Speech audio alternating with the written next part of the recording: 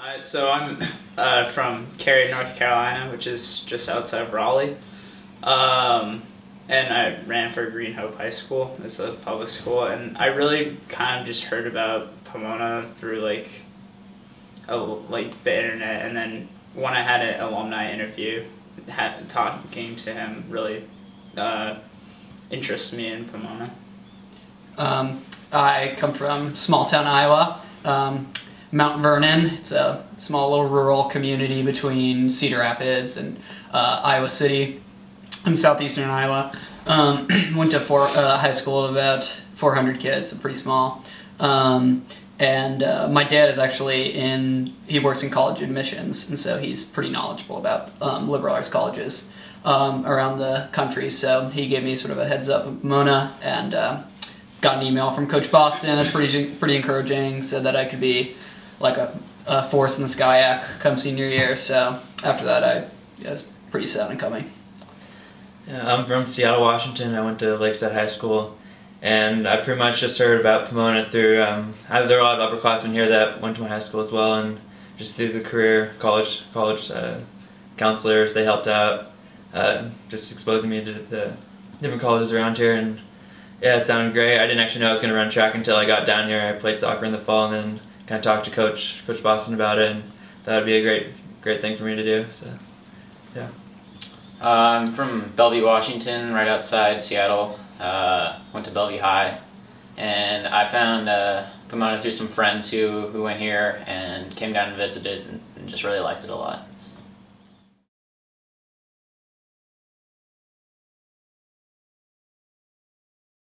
I did I tried, mainly it was middle school as my experimentation phase. I tried a little football in seventh grade, could not do that at all. I was, I was pretty quick, but uh, that didn't help too much. And um, tried a little soccer, but about, I think eighth grade was really when I, I had a good cross country season um, that year, and I just kind of knew that's what I wanted to focus on. And so after that, it was definitely just cross country and track all four years in high school.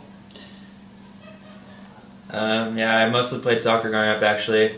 I started running cross country in high school, ninth grade, so I did that all four years. And I played on the freshman basketball team my freshman year, but then after that, just kind of played rec the next couple years. And yeah, played soccer in the spring for my high school.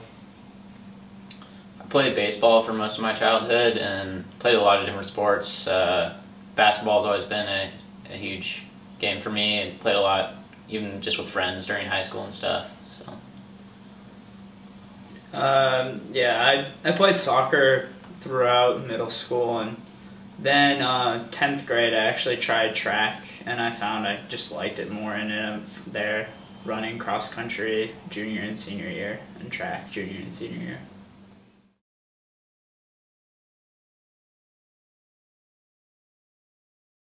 One of uh, my favorite professional athletes is Meb Keflezighi.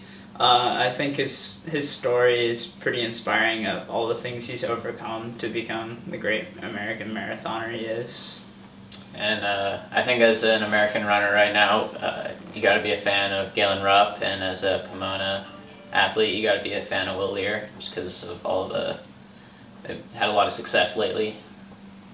Yeah, also um, Crosby Freeman, who was in Will Leer's kind of era. I think he maybe he was a grade above.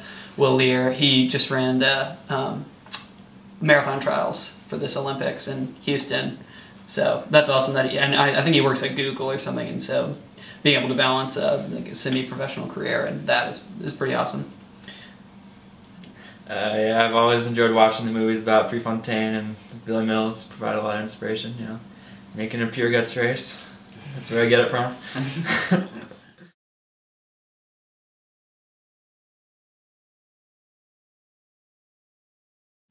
Well, for the most part, we we really only work with Coach Boston on the distance crew. Um, I guess if I were to describe him in one word, it would probably just be uh, caring. I don't know. Um, I'd say knowledgeable. I really enjoy the workouts that he gives us. I feel like they're always kind of right right what we need, what right what we need, and uh, I found them very helpful so far in the track season, getting us ready for the meets.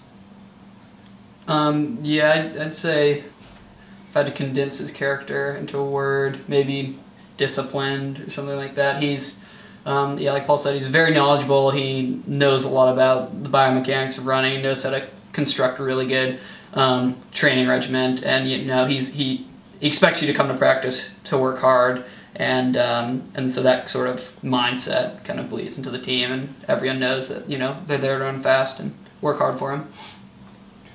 I can't think of necessarily one word, but um, he like one thing I, I really like about Coach Boston is he's always there, available. I guess maybe available to like it, for me to go into his office and talk to him about like, hey, I was wondering about this, and he would like help me like plan with what to do about certain things, how to improve certain aspects of my running, and I really appreciate that from a coach.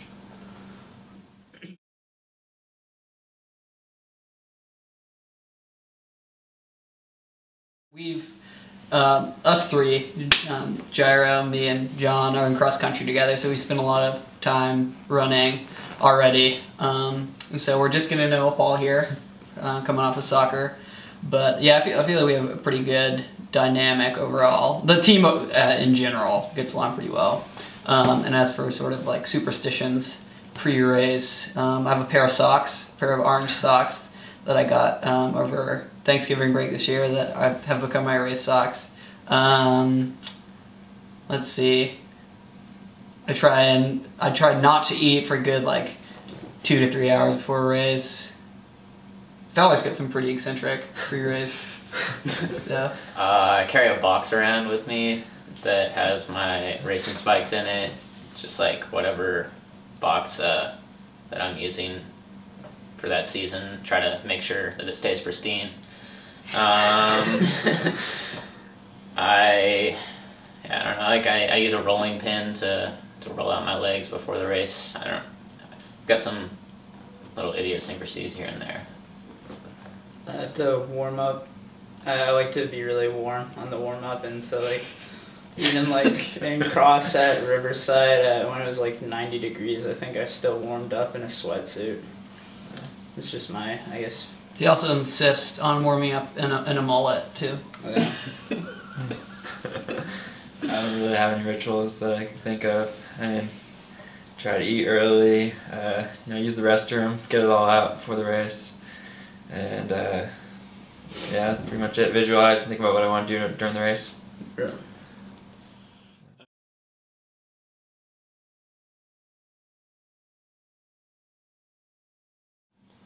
Um, I uh, ca- originally came in as a freshman, pretty intent on being a media studies, film studies major.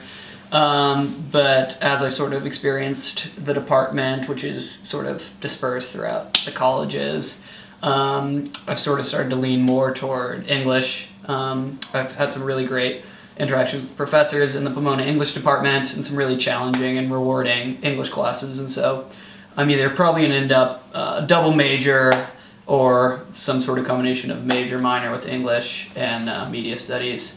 Um, and as for a career, yeah, I can I can either see myself either going into entertainment, um, doing something in marketing or um, creative development in the entertainment industry, or possibly going um, to grad school and doing some further, you know, research project scholarship in the humanities.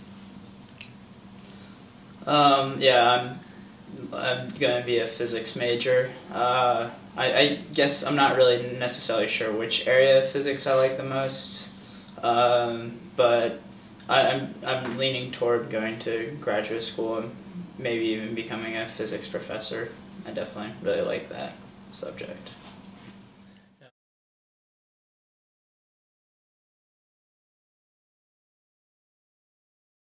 Yeah, so we don't have uh, a lot of seniors, but the ones we have are definitely looked up to, sort of good role models on the team.